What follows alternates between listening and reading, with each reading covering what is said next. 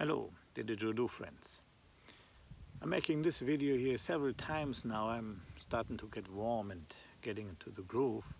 It's so freaking difficult to say in 15 minutes such a lot of stuff. So I'm getting right into it now, see what happens. I want to drop some bombs here because this morning a bomb in me exploded I was filming and posting yesterday this video called Very Emotional Response to Dubravko Lapin's Push and Pull. I said it all in the last two videos, in fact, about it. I have nothing to add to that. That's just done. I stand to it and it's done.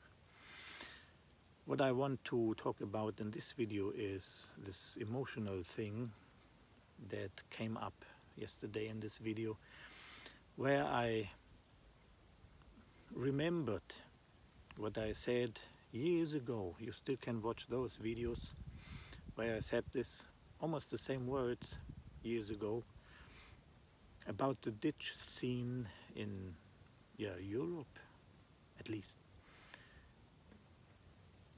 This unjust, cocky and I want to say it now, fascist behavior of the contemporary scene.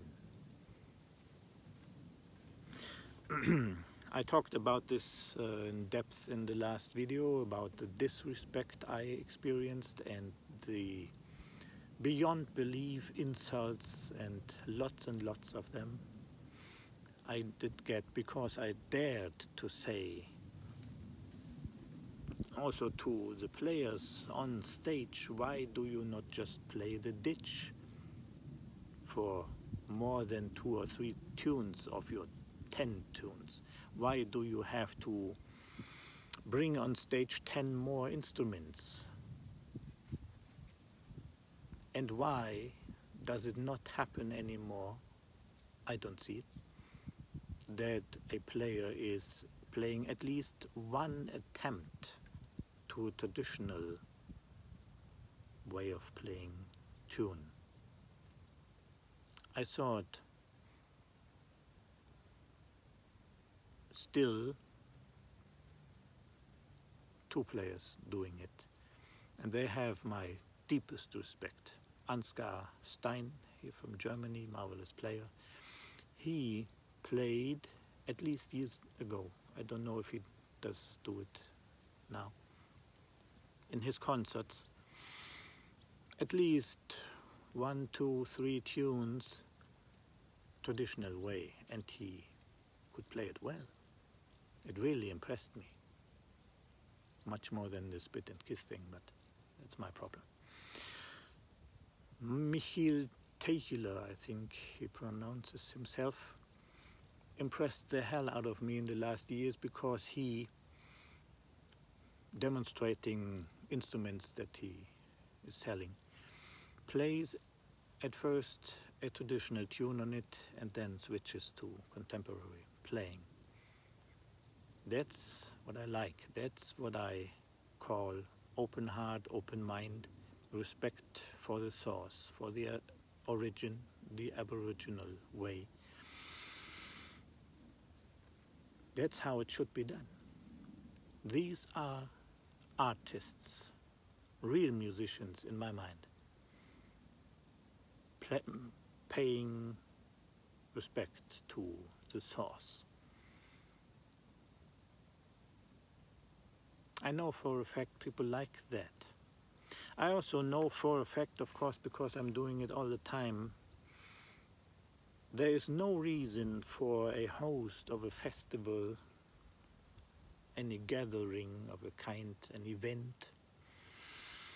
There's no reason for them, what they said to me,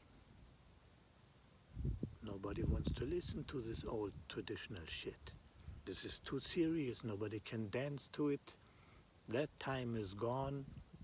The contemporary style, pit, uh, spit and kiss style, pop die Katze, bang the cat style, that's what people want to hear not your boring old fart. Wrong. That's wrong.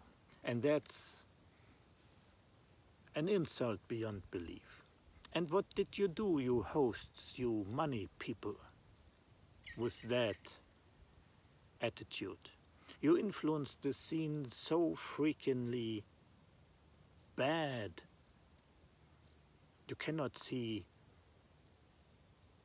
people on stage anymore playing a traditional tune or having an attempt for that. But I know for a fact there are many players around, not the famous ones anymore, maybe.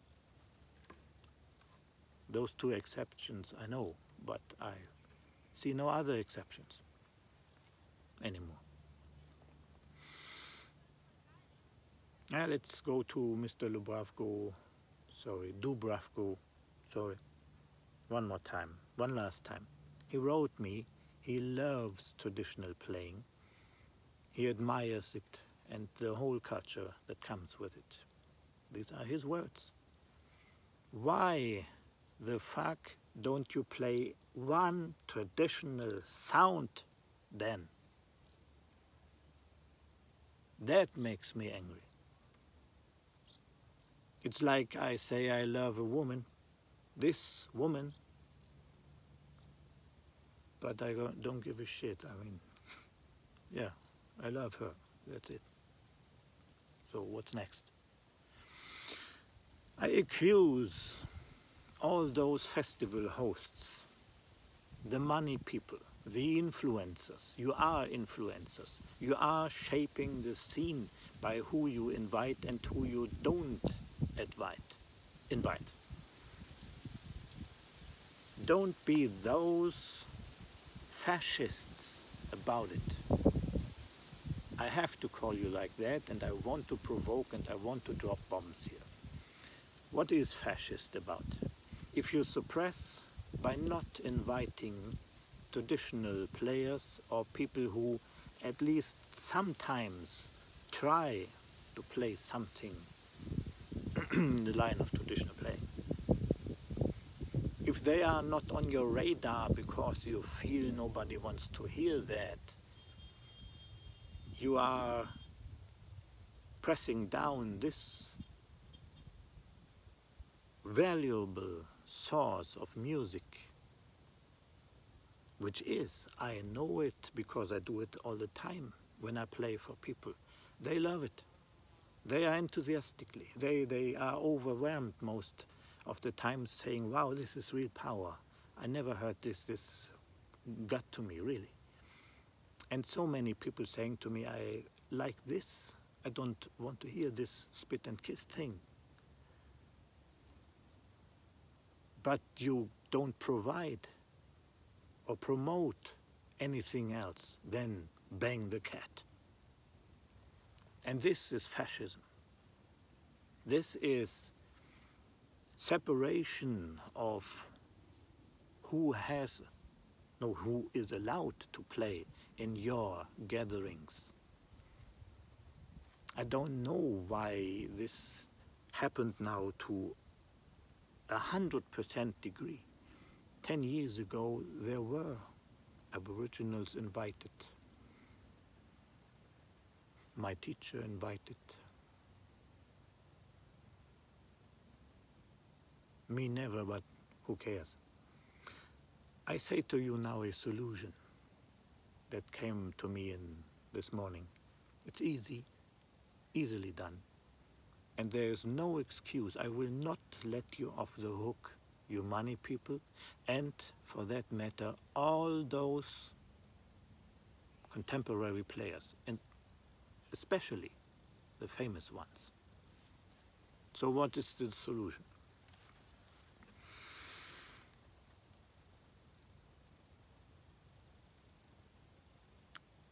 I will give you an example of my life. I am teaching people with autism. This is my main profession, as you may know.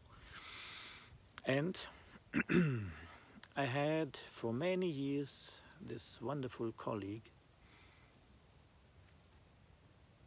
We never were really friends but we respected each other deeply, the profession and the way to go about it in our profession, social training for people with autism. And we started to become a team, a trainer team. And we had this gentleman agreement. If one of both of us is approached by somebody who wants to who wants a trainer for people with autism we say each one of us yeah but you have to take both of us to build up new groups in another city. Because we are a team we know each other well. We know our stuff. We can do it in highest possible quality. And people approaching one of us then would say yeah but it's double the price. And our gentleman agreement was doesn't matter. If you want one of us you have to take both of us. Or forget it. And that worked very well golden times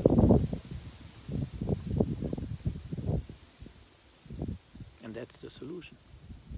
If one of you hosts realizes it's coming now on your radar again, aha, there are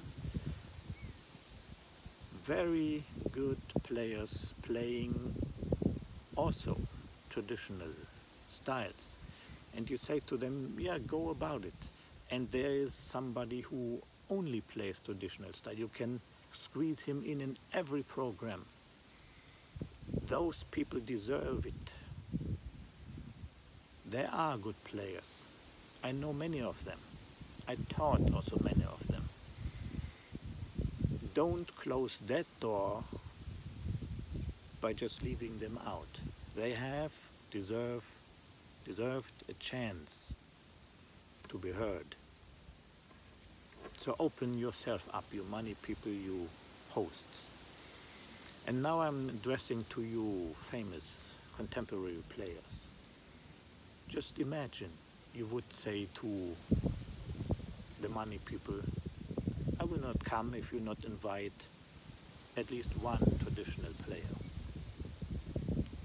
If you want to have me, you have to have one of those fine people too fine musicians.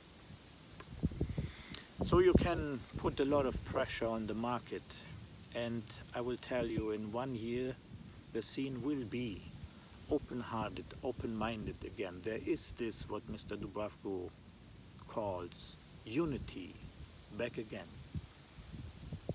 All smiles, smiles and friendly people and respect for the source again which I know for a fact people like to listen to.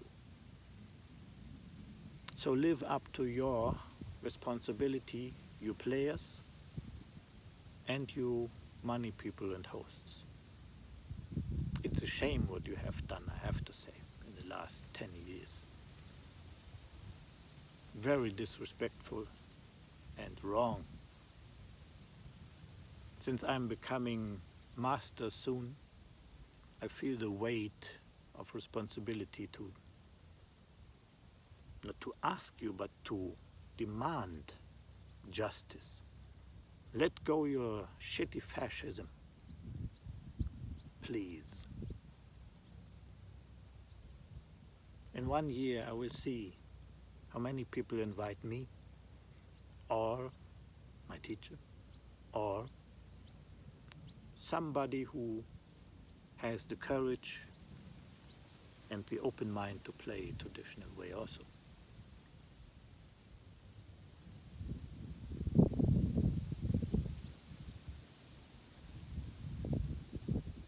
You have a responsibility